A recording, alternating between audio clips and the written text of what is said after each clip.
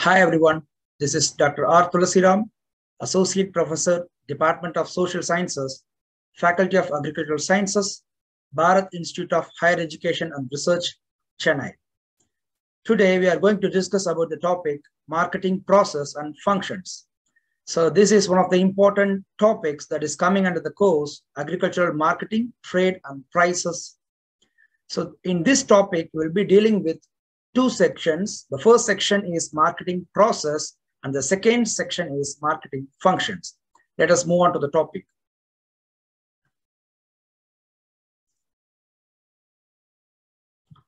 Right. First of all, a producer can be called as a farmer. The ultimate aim for the farmer is to produce a agricultural commodity. So once after he harvests any agricultural commodity, the ultimate aim for this producer to sell this product to the market.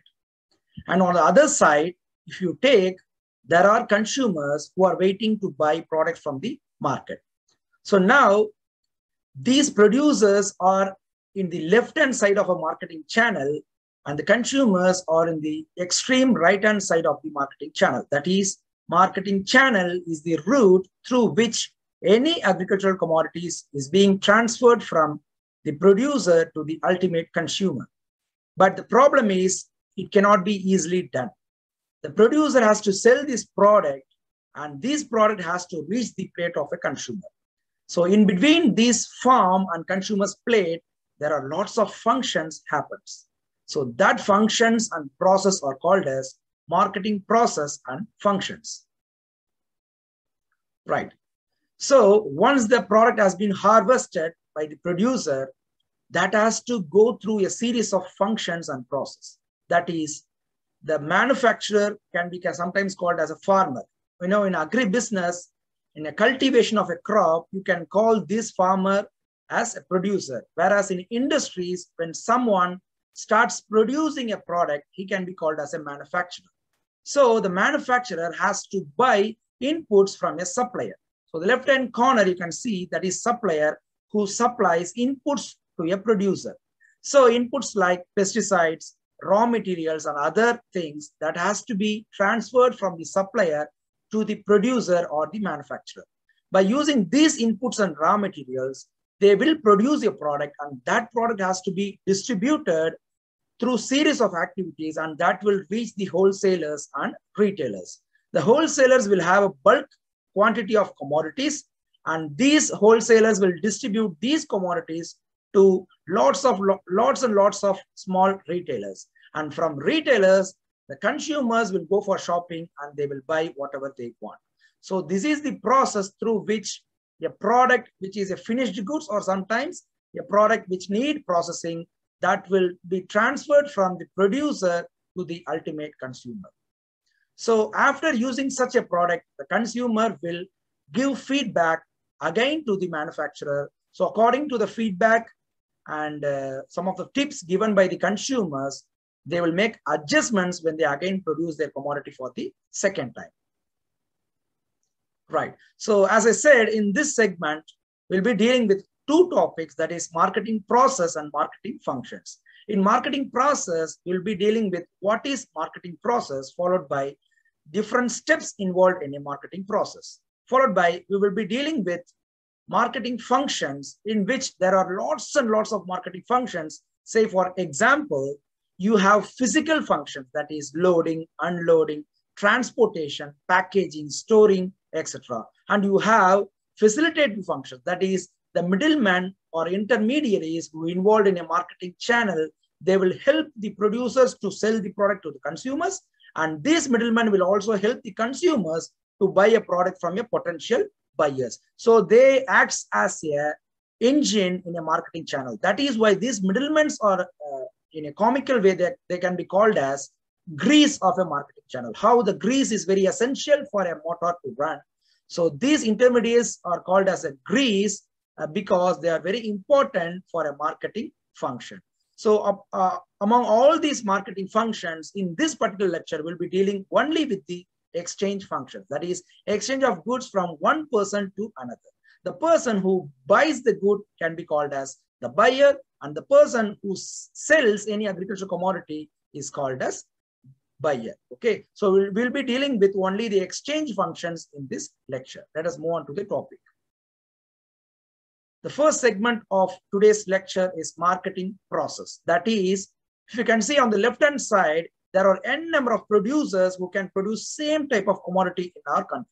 Say, for example, you take these pictures, tomato, it is being produced by some thousands and thousands of farmers all over the country from different states, uh, different regions, districts, and small villages. Okay, so the, these harvested produces, that is tomato, that will be brought together to a center marketplace. So the producer one, producer two, likewise, you, if you have thousand producers, the total product from all these thousand producers that will be brought to a center place that is called as market. Okay, so what happens here in market? These overall quantities after some processing, these will be distributed to different consumers. And these consumers or the users, they are coming from different regions. Say, for example, the product that is available in the center place that will be distributed to each and every regions of our country. So that is why by sitting in our home, we can make a purchase uh, just by traveling one or two kilometers to the nearby shops. So this is called as marketing process. That is bringing together the commodities from different producers and keeping those commodities in a center place. From there, this can be distributed among different consumers for use. So this market process consists of three steps, namely concentration, dispersion, equalization. First, in a nutshell, I will tell what it is. First, we will deal with concentration, right? So as I said, the product from different producers of our country that will be brought together to a center place. That is called as concentration. That is bringing these products to a center place. Okay. So where at the center place, the quantity will be in bulk because we are getting products from different producers. Some of the producers can give 100 kg of a product. Some other producer can give 20 kg of a product. So if you pull together all, all in a one place, you can call it as a center place where the quantities will be in bulk. Okay. And at the center place, from that center place, equalization will be done. I will just tell what is about equalization in the upcoming slides. After equalization, these products will be dis distributed or dispersed to different regions, to different wholesalers and retailers from where the consumers can get it. Say, for example, if the central place is the Mumbai market, uh, the, if the commodity is tomato, this tomato in bulk will be distributed to different wholesalers and they will be taking this tomato from Mumbai market to their respective markets. So likewise, each and every places will have the tomato market from where they can get tomato for uh, household consumptions. So this is called as concentration, dispersion, and equalization. Now we'll deal with one by one. First, the first step in marketing process is concentration. That is, it is the first process of marketing. The concentration aims at collection of products at a central place. As I said, the product from different farmers will be collected to a central place. So collecting different variety of goods which are being produced at different places by different farmers. Here you can see so there are n number of farmers available. So each and every farmer, they will be contributing to the center place and it will be in bulk. The product will be in bulk at the center place. Right. So once the product has been brought to a center place, what happens here? Because there are n number of farmers who is growing the same commodity. Say, for example, if you take guava, so guava will be produced by n number of farmers. Okay, so it is one of the important fruit crops, that is horticulture crops but the variety that is being used by different farmers, no, it varies.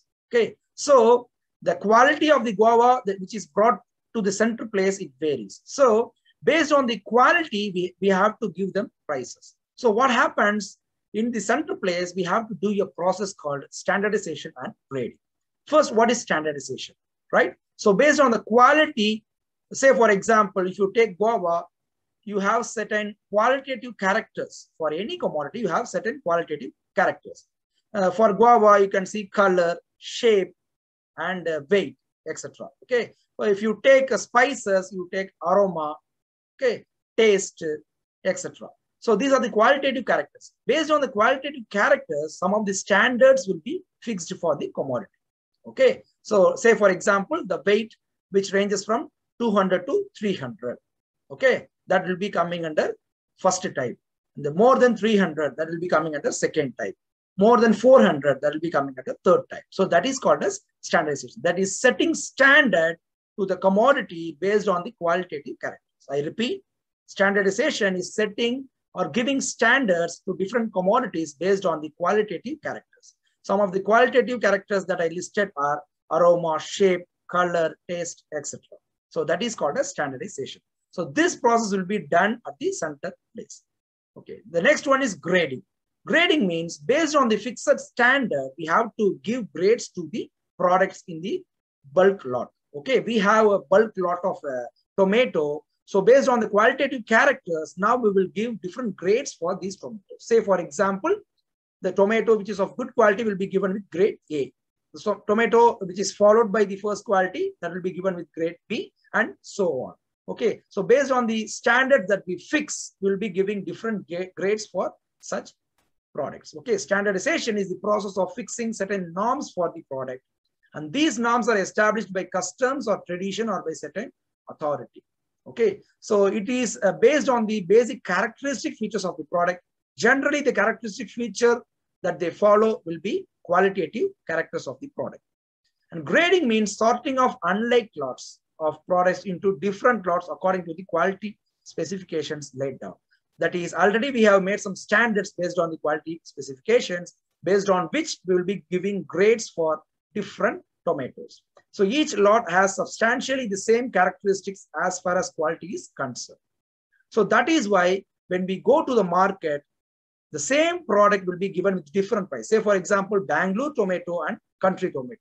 So the country tomato that will be kept outside the supermarkets and that will be very cheaper when compared to the Bangalore tomato, which is kept inside a supermarket. So that is based on the grading that is being given for the commodity. Right. So this is just an example for the quality requirements for fresh banana export. So this is the quality ex expected by the importing countries to import fresh banana from India. So here the qualitative characters that is being included for banana is variety, color, weight, packaging, storage temperature, and mode of transport. So based on these things, the grade will be given for banana. Okay, if it is Grand Cavendish, they will be giving grade 1. Okay, that is 2.5 kg. So anything which is below 2.5 kg will be given with grade 2. Anything which is very, very below par level that may be given with grade 3. So the grade 1 will be given with a good price when compared to uh, grade 2 and grade 3, right? Right. So AGMARK is one of the important institutions that is responsible for giving quality standards for Indian products. Okay, this head office is located at Faridabad, Haryana, and they are responsible to check the quality of agricultural commodities and they will give AGMARK certification. Once the AGMARK certification is given, the product is free to sell with a good price. So they give AGMARK certification for the following products, butter, ghee, vegetable oils, honey, wheat, atta, etc. Right. So the next process is called dispersion. So now the product has been brought to a center place. Okay, after getting it to the center place, what we have done? We have done two processes. That is, we have given different standards based on the qualitative characters, followed by grading based on the standards that we have fixed. Okay, after doing such activity, we have to dis disperse this product to the final consumers. That is, dispersion is the business activity in which the goods flow from the central location to the final consumer. So where did we stop after concentration? Concentration is bringing the product to a center place. So now the product is at the center place and the quantity is in bulk. So from the center place, if you disperse this product to different final consumers that is called as dispersion. Okay. How will you distribute this product to the final consumer? Through some market functionaries. That is, as I told you, in a marketing channel, you, you not only have producer and consumer, both are in the extreme ends. In between them, you have lots of market functionaries. Some of the market functionaries, for your information, wholesalers, primary wholesalers, secondary wholesalers, middlemen, commission agents, brokers, uh, retailers then the ultimate consumers. So here I have given the wholesalers and retailers play a great role in this activity because once the product is being transferred from the central place, that will reach either the wholesaler or retailer. So as a consumers, from where we buy, we don't go to the central marketplace all the time. We will either visit the wholesaler or retailer to get our product. So uh, in Tamil, they call it as Maliga Kadai, okay, wholesalers, etc. So distribution or, or reaching the goods from the place of distribution to the place of final utilizer, that is consumer, timely according to the need of the consumer, right? Right. So here in this second step called distribution, it contains different steps because distribution, it is not done very easily. Before distributing these products to final consumer, we have to do lots of things. Why we need to do all these things? Because how do we distribute these commodities? The only way to distribute these commodities is to transport that from the central place to the wholesaler or retailer. That is two market functionaries. Okay. So when we try to transport these commodities, we have to pack it in a good way. So for packaging, you need some packing materials. So this particular packing materials is different for each and every type of product. Say, for example, some of the products that demands corrugated sheet okay some of the some of the uh, other products that demands cotton boxes okay bubble roll okay thermocol sheets okay laminations uh, some uh, plastic boxes okay then uh, cellophane tapes etc so these are some of the packing materials that is needed to pack the product before transporting it. So once the packing is done what we do we do loading and unloading. So when you try to load it to the truck okay uh, you have to be very careful because uh, some of the products may be perishable and some of the products may be fragile. That is, it can be breakable. Say, for example, glassware in agriculture, you can call tomato as a fragile commodity because, because it is breakable and uh, perishable means milk is one of the examples. And for breakable, you have another example called egg that is also coming under agriculture. So once it is being loaded into the truck, then the transportation will be done and the transport lorry will ultimately reach the wholesalers or retailers. Sometimes from wholesalers, the retailers will get the uh, lot, okay? From where the consumers will get their produce for household consumptions. So this is the second step in marketing process that is dispersion. The third step in the marketing process, so it is a, it is a technical process that demands some analysis also, forecasting also right? So that is equalization. So what happens here? So once you have transported the produce to the ultimate consumer, you are not transporting all the produce that is being uh, taken to the center place. Okay, you are you are concentrating all the products to a central place. It is in bulk. From where you are distributing this to the wholesalers and retailers. But the point is, you are not going to distribute all the quantities to the wholesalers and retailers. Why? because you'll be supplying only the quantity which is demanded by the markets. Okay, the quantity which is demanded by the consumers, that alone will be supplied to the market. Say, for example, if the quantity demanded by the consumers in all the regions of our country is uh, 1000 kg of uh, paddy, just for an example, 1000 kg of paddy is demanded by all the regions of our country for a single week. So now how much we need to supply? We need to supply only 1000 kg out of the all the quantities which is kept in the center place. Okay, we have to distribute only 1000 kg. So after distributing 1000 kg, what happens? The remaining product will be kept in the center place. So what we need to do now, we need to equalize this. Okay, so we have 3000 kg of paddy and 1000 kg is demanded by the wholesaler, retailers and consumers. So we will distribute that through transportation and remaining 2000 kg now we have in our hands. So what do we do with that? We have to store it in a godown or warehouses. Why do we store it? I think you're all aware of it because when we store it in the future, if there is off season for the same paddy, we can distribute this product which is kept inside storage to the market. Okay, so why do we supply these products in the future? Because not all the agricultural commodities can be produced all the time of the year because agriculture production is highly seasonal. Okay, you have even for paddy, you have kharif and rabi seasons. Okay, so you have a planned cultivation. You can go for sowing in a particular time. So you cannot produce all the agricultural products at all the time of a year. So what do we do? during off season, so whatever products that is being stored in the storage godowns, that will be supplied to the nearby market from where the wholesalers and retailers can get their products and they can sell it to the ultimate consumers. So that is why this equalization is considered as the bridge for supply and demand of a market. So why supply and demand is very important for marketing because these are the two forces that decides the price of a commodity in any market. So in a market, if the demand is more, the price will be high for the products. In the same market, if the supply is more, that is the demand is less than the supply, then the price will come down. Okay, so the storage function that balances the supply and demand, an equalization process which consists of storage that bridges the gap between supply and demand. So whenever it is needed, they will supply. Until then, they will store these things in the godowns. Right. So as I told you, this equalization consists of storage function. So what do we do?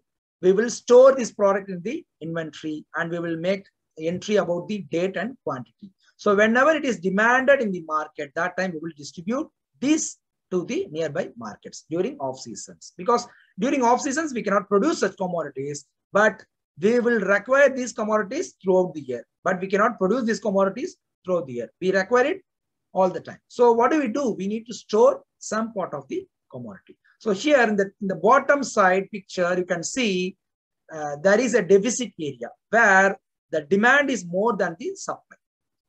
So that time the price will be high.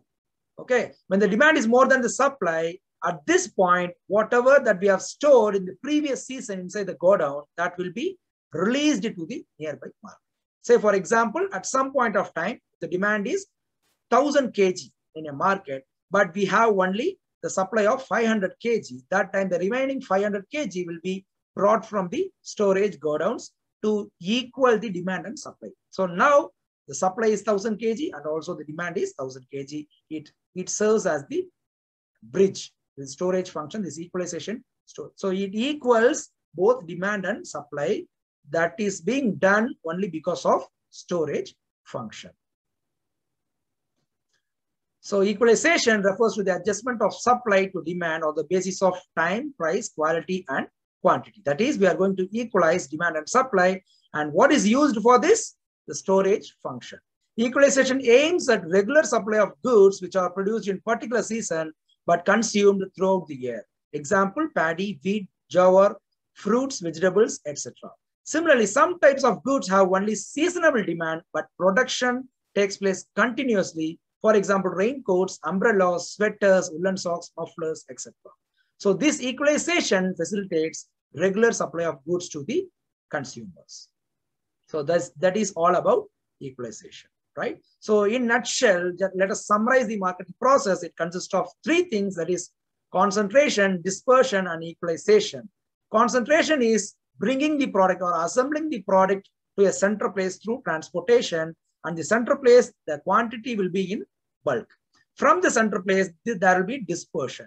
So how dispersion is done? It is being done through transportation and packaging. So before transporting or packaging the agri commodities, what we need to do, we need to give standardization and grading for such commodities to differentiate quality, quality products from the poor quality product. So after dispersion, what we do, we equalize the demand and supply. Okay, so we, we bring demand and supply equal to each other. So what is helpful to do so? The storage function helps to equate this demand and supply in any market. So this is all about marketing process. So now we'll just move on to the second part of this particular lecture that is marketing functions. As I told you, this marketing functions that happens in between the producer and the ultimate consumer. So you have in the marketing channel, you have at one corner, left-hand side, you have farmers, that is producers. On the other side, you have consumers, as I said in the starting itself. So in between them, you have lots of marketing functions without which the product cannot move from the producer to the consumer. So any single activity performed in carrying a product from the point of production, that is farmers, to the ultimate consumer may be termed as marketing function. It has four dimensions, namely time, space, form, and exchange.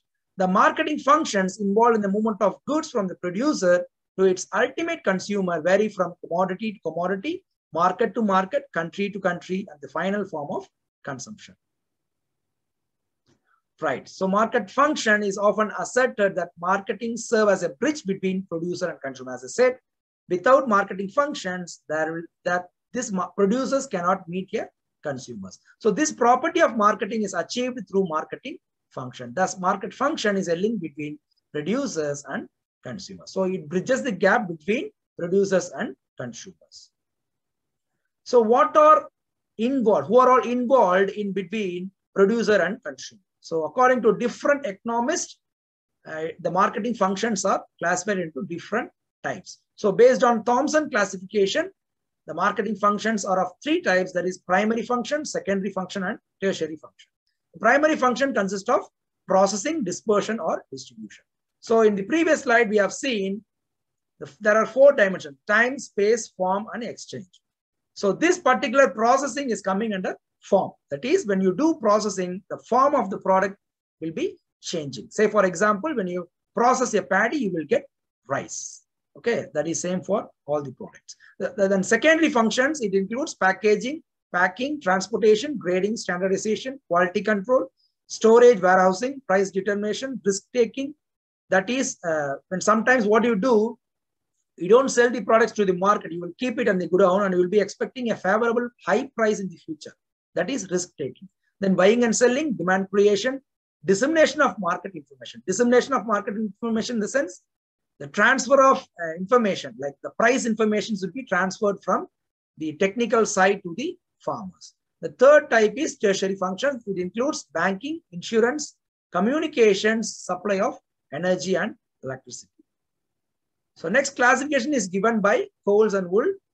That is uh, divided into three types, physical function, exchange function, facilitating functions. Normally, in agricultural marketing, all the scientists will be following this particular classification because it includes in, a, in, in, in such a way, it has given been given in such a way. Okay. The first function is physical function where physical activities will be involved. Say, for example, storage, warehousing, grading, processing, and transportation. These things are very basic that we know already. And exchange functions, it includes buying and selling. The facilitative function, as I told you, facilitative function is nothing but we don't do big work. The intermediary is middleman who involved inside a marketing channel who serves as a bridge between producer and consumer. What they do, they may do financing when someone wants to buy, but they don't want have money, these people will give finance to the consumers, okay, to the wholesalers sometimes. Risk taking, dissemination of market information, where the product is available, where it is cheaper. So those kind of small things will be done by few middlemen and intermediaries. So they facilitate the marketing function. Without them also marketing will happen, but they add some extra energy to the marketing function. If they are there, if these people are present in a market, the marketing can function little bit efficiently. The buying and selling process can be done very quickly in a market. Okay, so we will take this particular classification that is exchange function, buying and selling. Okay, we'll be discussing about this particular marketing function alone in this lecture because each and every topic is a separate lecture. Storage, warehousing, grading, processing, etc. Okay. So in this particular lecture, we'll be dealing only with exchange function that includes buying and selling. So another uh, classification was given by Huegy and Mitchell. Okay. He has divided that into three types. One is physical movement functions, ownership movement functions, market management functions. Okay. So now in this particular class, we'll be dealing only with this uh, Cole and Uhl's classification that is buying and selling functions. So buying and selling combinedly it can be called as exchange functions. So buying and selling process can be combinedly called as exchange functions where buyer and seller will be involved. Okay. So the buyer will be the consumer. Sometimes it may be retailer or wholesaler. Okay. Sellers, it is not mandatory. It should be a farmer. He may be a wholesaler or sometimes it may be a retailer right? So buying and selling is the most important activity in the marketing process. At every stage, buyers and sellers come together. They face each other. Goods are transferred from the seller to the buyer and the possession utility is added to the commodities. Because uh, the utility is called as usage. Possession is who possess the commodity. Okay. So when the uh, product is being possessed by the seller, its usage is very low. But the same product, when it is transferred to a buyer, the usage may increase. So through the buying and selling, that is exchange activity, the possession utility is added to the commodities. So when it is in the hands of a seller, it has some usage, that is U, usage U. And when the same commodity is being transferred to a consumer, its usage may increase, that is U plus 1. Right, so first we will see about buying function. The buying activity involves the purchase of the right goods at the right time, in the right quantities and at the right place. It involves problems of what to buy, when to buy, from where to buy, how to buy, and how to settle the price and terms of purchase. Because normally we don't buy it very easily. We select the products, then we go for price negotiations.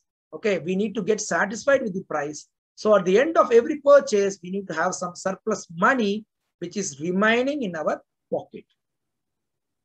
So the next activity is selling. The selling activity involves personal or impersonal assistance to or persuasion of a prospective buyer to buy a commodity.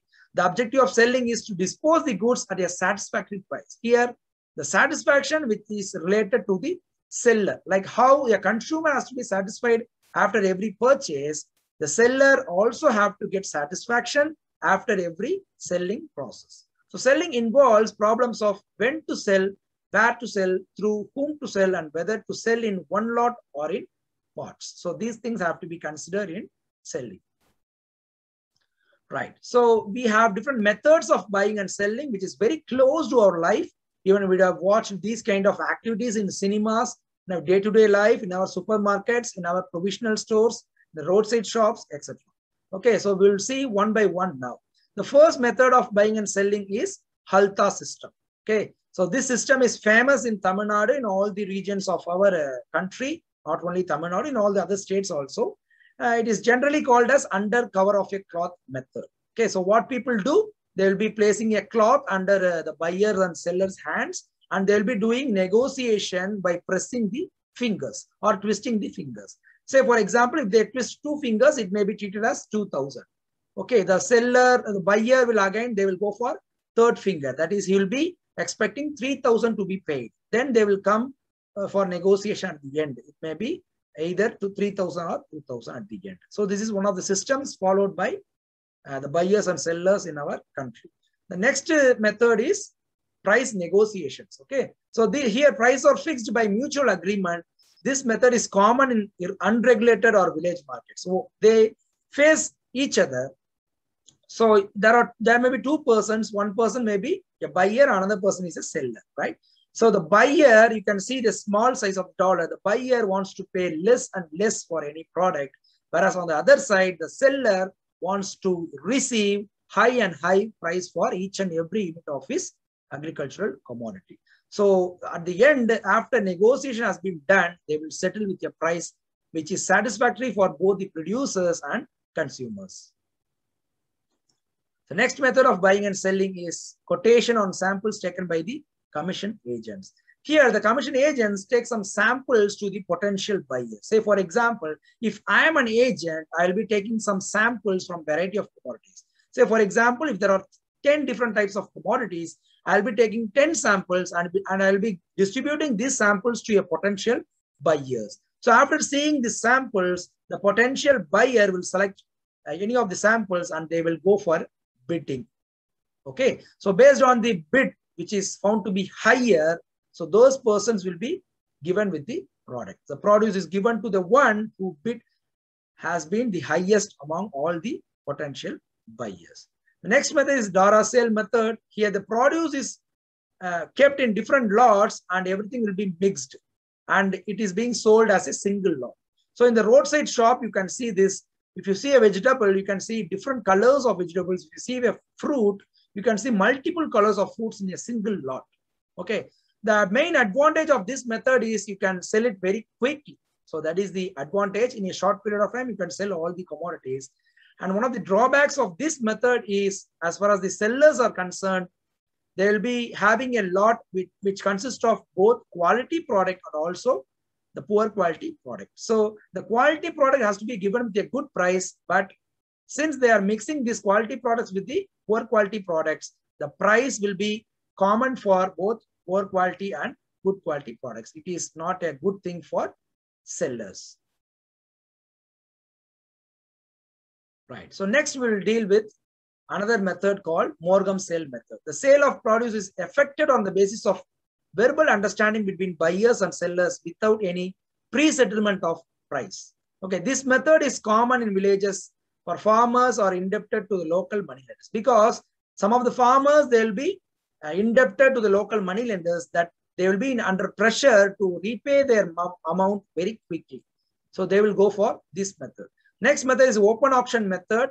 In many of the movies, we would have watched this method where the products will be kept as a heap in, in front of all the potential buyers and all the buyers, uh, they will be going for bid. Okay. So they will be shouting like 10,000, 10,500 to 11,000, 11,500 and so on. So finally, everyone will just give up and one of the sellers will be there in the hunt with a high price. So those sell, those buyers will be given with the product. So IPL auction is one of the important examples for this method of buying and selling. Next method is a closed tender system where the same heap is kept, but the only difference is the price bid by the potential buyers will not be visible to all the other buyers. So what I bid as a, as a buyer, it is, non, it is not known to you. Okay. The other buyer cannot able to understand how much money I'm asking for. Okay. So the price quoted by myself will not be equal that of others. So when they open the cover, which is kept, the quotations will be kept inside a cover, which is closed. When they open the cover, whoever has bid the highest, they will be given with the commodities. Right. So these are some of the different types of buying and selling. And combinedly, this buying and selling can be called as the exchange functions. Right. So to conclude, the agriculture where we cultivate and also we rear animals and we also sell not only the uh, output, we also sell the input also, right? So to sell this output and input to a nearby market, we need to go for a process and that process consists of concentration, equalization and dispersion. And any single activity performed in carrying a product from point of production to the ultimate consumer is called as marketing function. So it involves packaging, transportation, grading and standardization, processing, validation, buying and selling, price discovery and price determination, market information. So out of these marketing functions, we have discussed only about the exchange functions. It includes buying and selling. So what is the takeaway from this lecture for all your information? There are two people involved in marketing process or marketing function, right? So the ultimate consumer and the producer. Okay. So what happens? The buyer will be facing the producer, right? And the buyer will be expecting some consumer surplus, right? And the sellers will be expecting producer surplus. That is, they will be, they will be, they want to get high price, okay, for all his products. And on the other side, the consumer wants to pay less and less to get some surplus, extra amount after the purchasing is getting over. So this is the expectation. If after buying and selling process, if both the producers and consumers are in happy mode, then this buying and selling process is a successful one. So that's all for today's lecture. Thanks for the patient listening. We'll again meet up in some other uh, lectures in the future course of time. Until then, it is bye from Thulasiram. Thank you.